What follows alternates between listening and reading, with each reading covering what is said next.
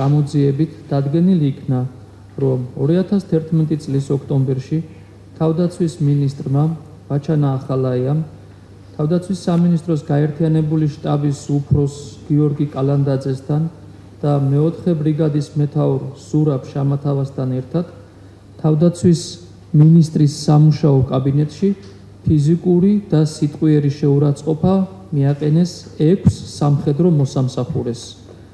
ამასთან ბაჩანა ახალაიამ ერთ-ერთ სამხედრო პირს დანის ტარი თავში ჩაარტყა.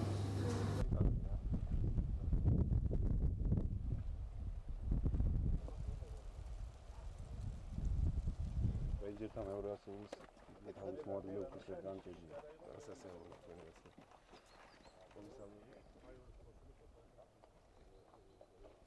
Uh, we had a uh, very unfortunate uh, fact that happened this night. Uh, chairman of the Joint Chief was uh, arrested by the uh, prosecutor's office.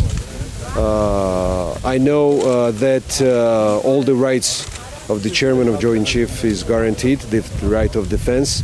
We are monitoring this, of course, from our standpoint, that uh, his uh, rights will be fully implemented.